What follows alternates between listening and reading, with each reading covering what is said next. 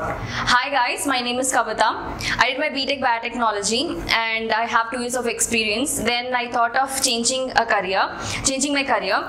So I was uh, searching in the internet uh, to what should I do and um, uh, where my career growth should be.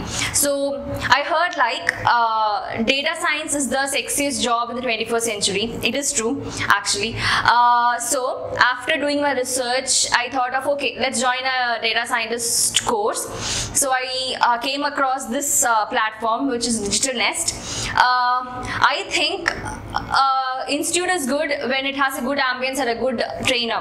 I think thumbs up for this. The trainers are awesome here. Uh, my trainer was Vishnumurthy and um, Manoharan both are fabulous.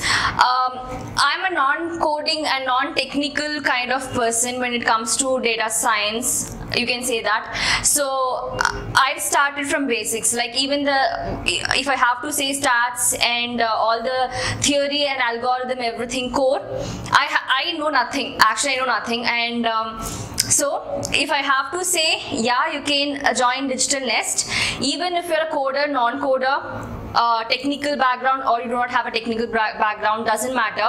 Trust me but yeah if you really want to do your data science course please come and join your digital nest. It's a great platform. You'll have a great time and a great learning. So yeah thank you.